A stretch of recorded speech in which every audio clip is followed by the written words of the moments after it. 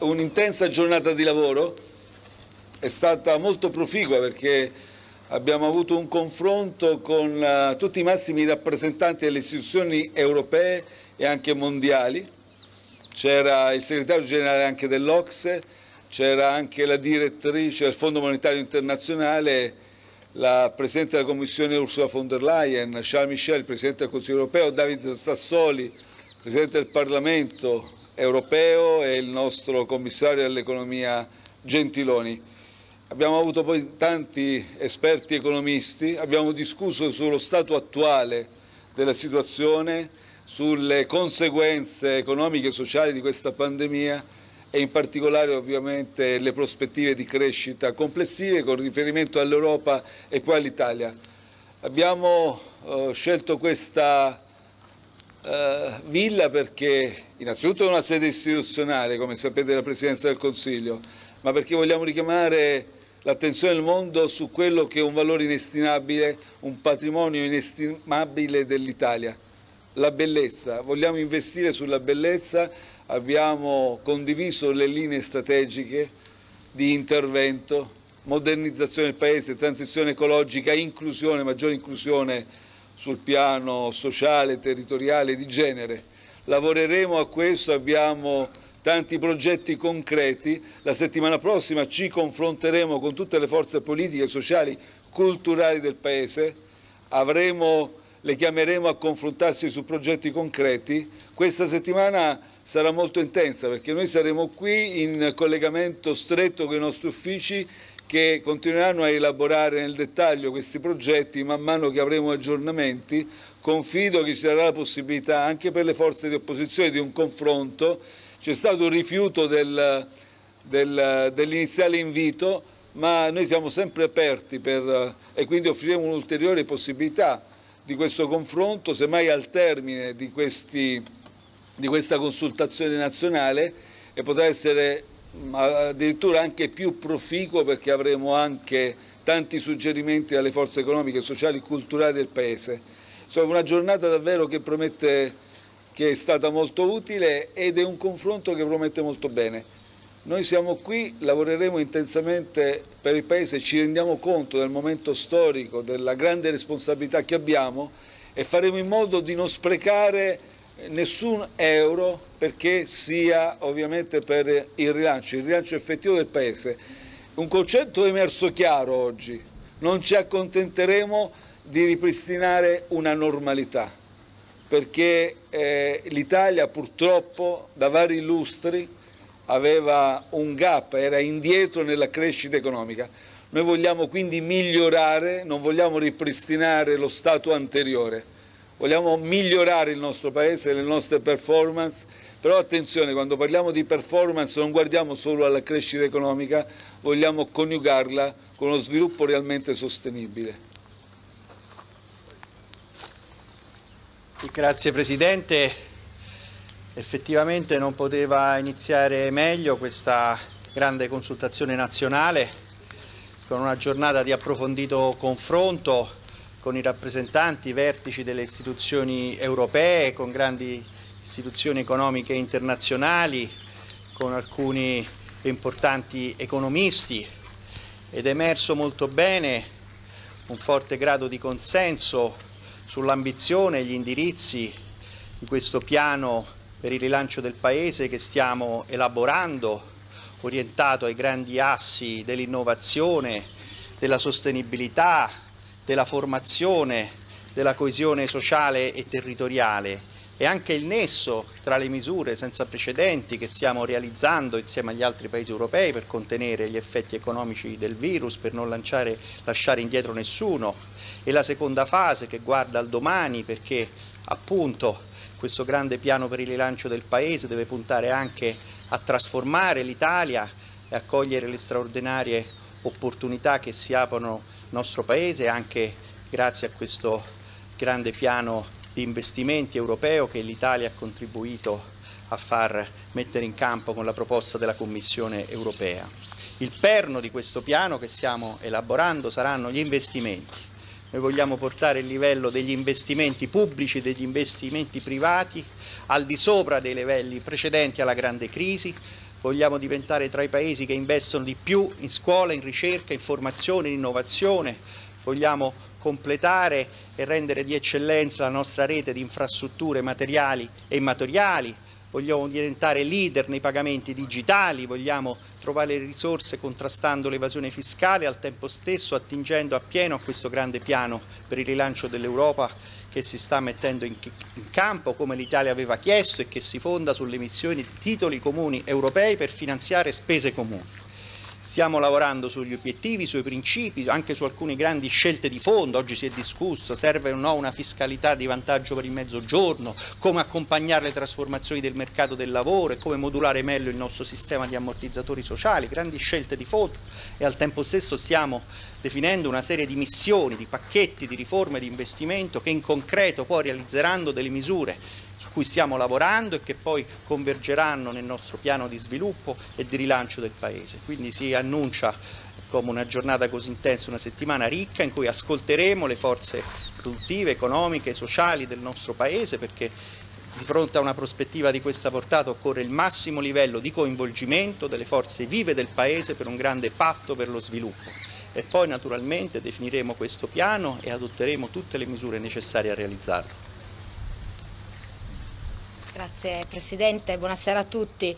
Oggi è stata una giornata molto importante di confronto e di lavoro dove al centro c'è stato anche il tema della digitalizzazione e dell'innovazione del nostro Paese.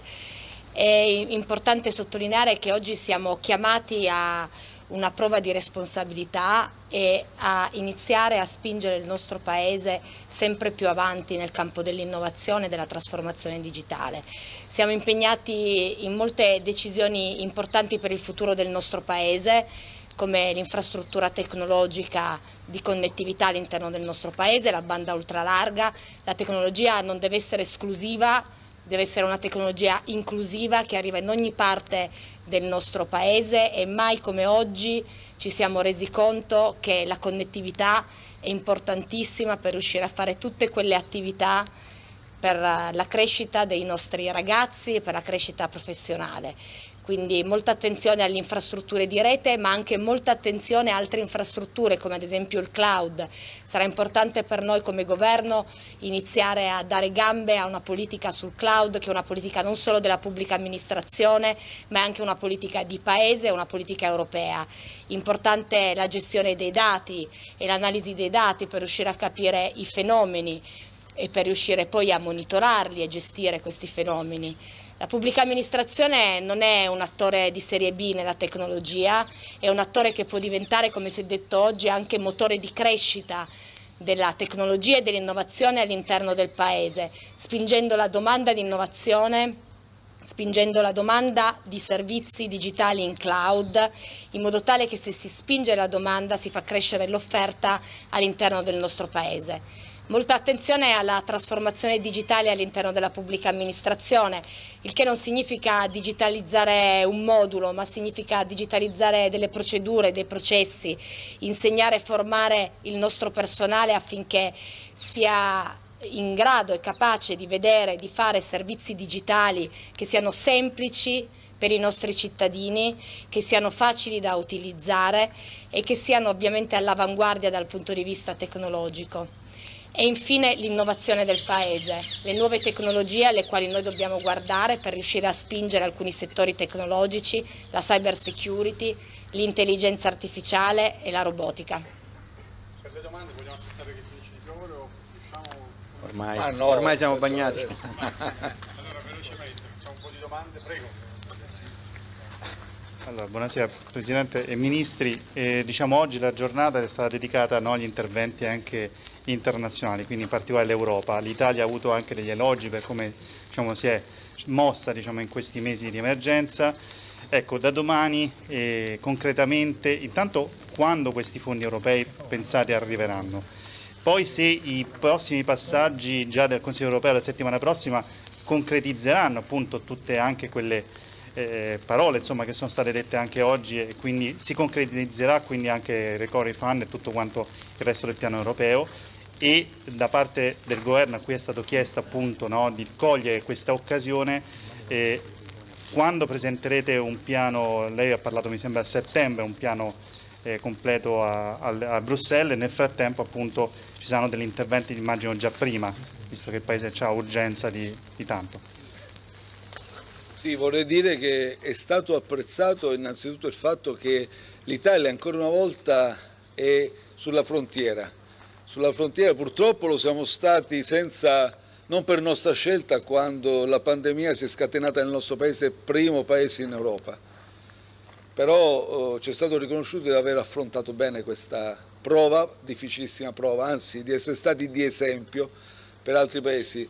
È una delle parole più toccanti, forse che sono state pronunciate oggi da Charles Michel, ma anche tutti gli altri eh, presidenti, rappresentanti delle istituzioni hanno avuto delle belle parole nei confronti dell'Italia e del popolo italiano e quando Charles Michel ha detto che noi abbiamo salvato indirettamente vite in Europa, perché chiaramente con la nostra reazione, con la nostra capacità di reazione abbiamo anche offerto ad altri un esempio per poter intervenire tempestivamente alla luce di, che, delle, di quanto avevamo operato.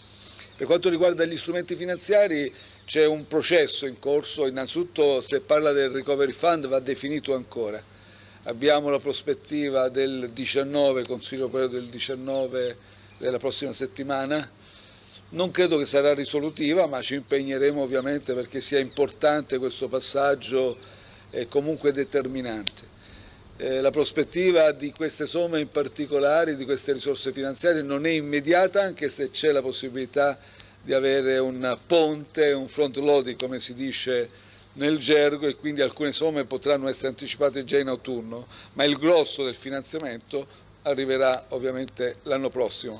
Ma questo non toglie che noi siamo alla frontiera, dicevo, anche nel piano di rilancio. Il piano di rilancio, lei l'ha ricordato, pensiamo di presentarlo a settembre, ma anche nella prospettiva di settembre sarà molto impegnativo perché significa dettagliare tutti i progetti, avere ben chiare le idee, elaborare una strategia e ovviamente alcuni di questi progetti partiranno subito, non aspetteremo certo settembre, però è importante avere un quadro strategico perché decidere dove allocare le risorse significa evidentemente avere già da subito un quadro. Ecco perché è importante la settimana prossima e sarà una settimana di confronto operativo su progetti specifici. Alcuni, alcune somme, ovviamente investimenti, noi li abbiamo già a disposizione, sono già ovviamente nostri, nel nostro budget, altri però dobbiamo evidentemente deciderli e poi occorre operare una redistribuzione delle risorse finanziarie, ma se non abbiamo progetti concreti se non abbiamo ovviamente la misura dell'impatto finanziario di questi progetti non andiamo da nessuna parte. Ecco perché c'è grande urgenza e abbiamo ricevuto apprezzamento anche per questa urgenza di lavorare già un piano di rilancio. Presidente, io sono Sani Bonini, News 24, volevo chiederle, è arrivata la notizia durante questa prima giornata degli Stati Generali dell'Economia di questa possibilità vaccino entro la fine dell'anno con un ruolo in prima fila del nostro Paese. L'ha annunciato Speranza, abbiamo saputo di un applauso che ha accolto questa notizia mentre eravate riuniti. Ecco, come sottolinea questo impegno del, anche del nostro Paese e soprattutto in un'ottica universalistica in vista del G20 dell'Italia, come dovremo usare e con quale responsabilità sulle spalle poter usare questa prospettiva da qui alla fine del 2020. Grazie. È un ulteriore eh, elemento e conferma che l'Italia è in prima linea, anche sul fronte della ricerca, sul fronte delle terapie, sul fronte dei vaccini. Ovviamente dobbiamo essere cauti perché non stiamo parlando di un vaccino a disposizione, però è sicuramente tra le ricerche, progetti di ricerca a cui parteciperemo attivamente a questo punto perché abbiamo formalizzato anche i contratti, è uno dei più promettenti perché con l'Università di Oxford è uno dei progetti più avanzati per quanto riguarda i vaccini. L'Italia ancora una volta fa come dire, da pilota in Europa insieme ad altri paesi perché non solo ci siamo procacciati la possibilità di avere ingenti ovviamente risorse per noi destinato, quindi dosi destinate alla comunità italiana, ma siamo, abbiamo creato anche le premesse per fornirlo agli altri paesi europei che non sono in questo momento direttamente coinvolti in questo progetto, in questo programma. Avremo anche ricadute per un'impresa italiana, ma non è l'unico progetto a cui partecipiamo. Noi non lasciamo nessuna ipotesi intentata quando si tratta di investire d'ora in poi nella ricerca, di migliorare le nostre performance in questo settore, anche per quanto riguarda le terapie mediche, saremo in prima linea. Salve Presidente, Michele Esposito dell'Anza. Ehm, no, ecco, eh, per questo piano di rilancio certamente insomma, immagino ci, ci, debba essere il miglior clima nella maggioranza e mh, negli ultimi giorni ci sono com comunque state delle fibrillazioni, per esempio sulle mh, modifiche dei decreti sicurezza. Allora volevo sapere se diciamo nelle prossime settimane, anche così per avere un clima più sereno eh, all'interno della maggioranza, lei ha intenzione comunque di eh, mettere all'ordine del giorno dell'agenda di governo questa cosa delle modifiche dei decreti sicurezza sulla base delle, ehm, diciamo, delle osservazioni fatte dal Capo dello Stato. Grazie. Di fibrillazioni con riguardo ai decreti sicurezza ho letto sui giornali. Io ero al Consiglio dei Ministri quando se ne è parlato, ci siamo semplicemente rammentati reciprocamente che nel programma di governo e siccome adesso l'emergenza, la fase più acuta, siamo usciti dalla fase più acuta, adesso stavamo già lavorando e lavoreremo per il decreto sicurezza, ma è nel, nei punti programmatici di governo, quindi nessuna fibrillazione. Grazie. Prego. Sì. sì, buonasera. Laura Cannavò, News Mediaset, Presidente. Ehm, oggi si è parlato eh, dei grandi investimenti che arriveranno dall'Europa, però c'è anche un punto di svolta politico sia per l'Italia che per l'Europa, cioè la sconfitta delle politiche sovraniste passa anche dal successo che l'Europa potrà eh, avere, portare a casa con eh, queste riforme naturalmente anche in Italia e quindi c'è anche diciamo così, un eh, risvolto politico di questa eh, grande lotta e ripresa dopo la crisi della pandemia. C'è consapevolezza di questo ovviamente, immagino di sì, e poi volevo chiedere al Ministro Gualtieri se eh, effettivamente state pensando di eh, procedere con un ulteriore scostamento di bilancio per fare fronte alle spese che eh, ci potranno essere prima dell'arrivo dei eh, fondi Recovery Fund. 8-10 miliardi si parla di questa cifra, se lo può confermare? Quanto riguarda la prima domanda, sulla, lei ha parlato di sconfitta di politiche sovraniste. Beh, diciamo che se riusciremo a portare a casa questa che è la proposta della Commissione europea sul Recovery Fund, che prevede ingenti risorse, in particolare per l'Italia, perché è uno dei paesi più colpiti, perché questa è la logica, il paese con, che ha maggior bisogno del Recovery Fund, sarà una vittoria, non una sconfitta di qualcuno, sarà la vittoria di una convinzione che l'Italia ha avuto sin dall'inizio e che ha condiviso con alcuni paesi e poi man mano con, sta cercando di condividere con tutti i paesi. Anzi, proprio per scacciare via le polemiche, io rivolgo ai partiti di opposizione che ieri non sono venuti qui perché hanno ritenuto questa sede non adeguata, un appello, siccome c'è ancora da lavorare a questo progetto, loro che possono dare una mano, perché non abbiamo ancora portato a casa un risultato. Io l'ho detto, ci sarà un passaggio al Consiglio europeo ancora, dobbiamo fare dei passaggi al Consiglio europeo e avete anche colto voi, c'è un dibattito in alcuni paesi, ci sono dei governi di coalizione dove ci sono dei partiti molto a destra che contestano ovviamente queste soluzioni, alcuni paesi di Visegrad anche sono usciti pubblicamente e contestano queste soluzioni. Quindi siccome alcuni esponenti, alcune forze dell'opposizione sono molto legate a queste forze politiche, a questi governi di Visegrad, io chiedo loro di lavorare per darci una mano perché ovviamente dobbiamo ancora completare questo processo. Quindi nell'interesse nazionale, l'interesse della comunità italiana, vi prego dateci una mano e io vi riconoscerò pubblicamente l'aiuto che ci darete intervenendo anche sui partiti con cui avete dei legami, con esponenti politici di altri paesi o anche addirittura di governi che in questo momento stanno cercando di contrastare questa risposta forte, coerente e coesa che le istituzioni europee, in particolare la Commissione, sta offrendo. C'era la seconda la risposta del Ministro, la seconda domanda.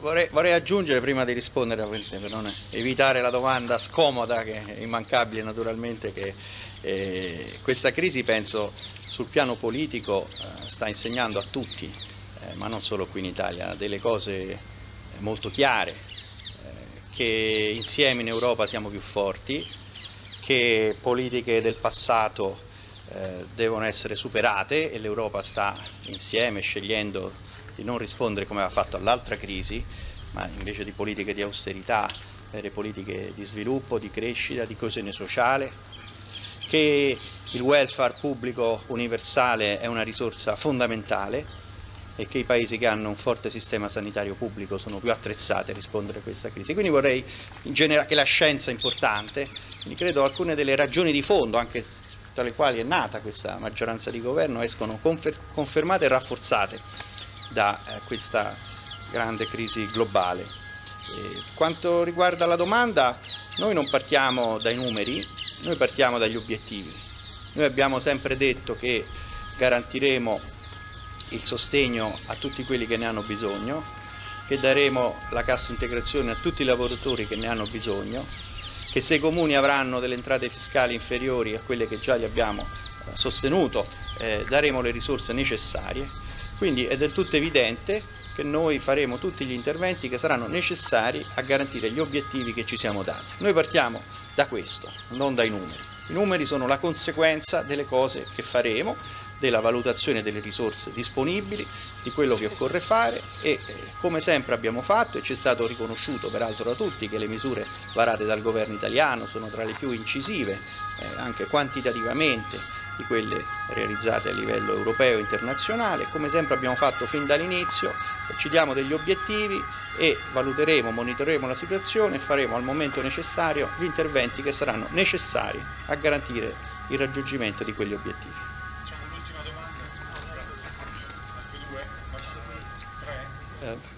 Tre.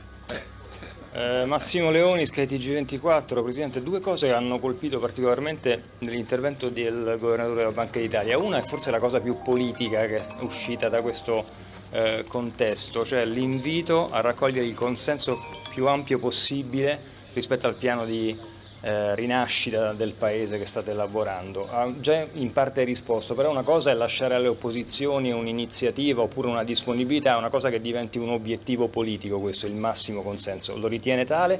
L'altra cosa che viene da Visco è l'invito a mettere mano in maniera seria a una riforma del sistema fiscale. Tra l'altro questa riflessione è doppiata immediatamente dal suo collega di governo Di Maio che ha invitato anche di nuovo, non è la prima volta, um, aprire questo dossier. Mi chiedo se le risorse europee nell'animo del governo possano servire anche a questo obiettivo oppure è totalmente da escludere. Guardi, per quanto riguarda il coinvolgimento delle opposizioni in questo progetto è d'obbligo. Io credo di essere stato molto chiaro e quando abbiamo iniziato da subito a lavorare a questo piano di rilancio ho chiarito che questo che arriverà, gli, le risorse finanziarie che arriveranno dall'Europa non possono essere intese, ho detto come un tesoretto a disposizione del governo in carica, che il governo in carica utilizza liberamente. L'ho detto anche prima, non ci possiamo permettere di sprecare un euro perché eh, sono, abbiamo una grande responsabilità dopo quello che abbiamo vissuto, ricordo ovviamente anche la, eh, le tragedie che sono dietro la pandemia e che non potremo mai dimenticare, quindi abbiamo il dovere di lavorare con la massima condivisione. Ma il fatto, voglio dire, che nella giornata e quindi l'attenzione distinta che volevamo riservare alle forze di opposizione, ai leader dell'opposizione, è dato al fatto che li avevamo invitati ieri, prima di questa giornata, diciamo così, internazionale. Però, ripeto, continueremo a, a caparbiamente a coinvolgerli e confidiamo di farlo al termine di questa prossima settimana laddove poi avremo anche un riscontro, suggerimenti, idee raccolte dalle forze politiche, sociali e culturali che sfileranno con, con noi e si confronteranno sui progetti concreti. L'altra domanda era su? La riforma fiscale. La riforma fiscale è assolutamente, la troverete adesso tra gli obiettivi che abbiamo, perché l'ho anche annunciato e condividiamo tutti in maggioranza, abbiamo un fisco che è purtroppo inefficiente, non è equo, quindi sicuramente potremo anche per una riforma del genere che comporta, immaginate anche sul piano della digitalizzazione, richiede investimenti, potremo utilizzare anche risorse europee in questa direzione. Buonasera Presidente, buonasera Ministri, Max Brod da Corà. Oggi il governatore Visco ha lanciato un messaggio chiaro e dice ciò che più ci differenzia dalle economie avanzate è l'evasione fiscale. Nel piano Colau c'è la voluntary disclosure sul contante che alcuni membri del governo non hanno esitato a chiamare condono. Volevo capire se le due strade, il messaggio di Visco o la voluntary disclosure, sono alternative e se questa voluntary disclosure sul contante è ancora sul tavolo, è ancora in discussione oppure si è presa una decisione su questo. Grazie. Sul tavolo più che mai, poi sentiamo anche il Ministro Gualtieri, sul tavolo più che mai la lotta all'economia sommersa, quindi il contrasto all'evasione fiscale è una assoluta priorità. Noi dobbiamo recuperare quei miliardi che ci vengono sottratti indebitamente vengono sottratti alla comunità nazionale perché è quello che ci consentirà di far pagare a tutti meno, non in modo velletario ma in modo credibile e sostenibile nel tempo. Anche attraverso la volontà. Per quanto riguarda, quello è un progetto particolare che andremo a discutere nell'ambito di, eh, diciamo, di vari altri strumenti che complessivamente metteremo in campo.